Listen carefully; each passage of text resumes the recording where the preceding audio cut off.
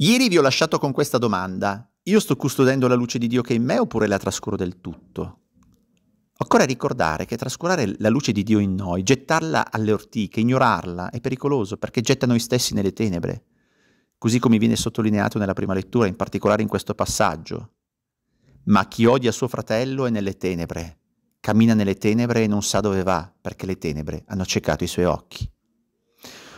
Non so se vi è mai accaduto di guidare nella nebbia, non vedi nulla, luoghi anche che conosci bene ti sembrano diversi, irriconoscibili, perdi punti di riferimento, tutto è confuso, incerto.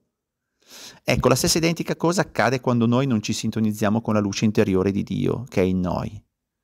Ci condanniamo da soli al buio, all'oscurità, al grigiore, alla nebbia e questo ci porta a guardare in modo distorto gli altri, le scelte, le vicende che, che viviamo. Nella lettura c'è questa bella frase di Giovanni Apostolo. Le tenebre stanno diradandosi e già appare la luce vera. Ecco, il Natale ci ricorda che in ognuno di noi vi è una luce divina diversa da tutte le altre, eterna, che mai si consuma, e sostando davanti ad essa avvertiamo che non siamo mai soli, mai smarriti, mai vuoti. È una luce che è in grado di diradare ogni tipo di tenebra, di nebbia, di accompagnarci dentro ad ogni buio esistenziale per non farci mai sentire soli smarriti. Eppure, eppure, Molte volte noi preferiamo la nebbia e così tutto diventa complicato, ci complichiamo la vita da soli. Dio viene per aiutarci e noi ci complichiamo la vita. Siamo proprio strani.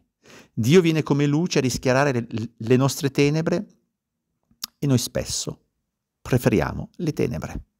Buona giornata.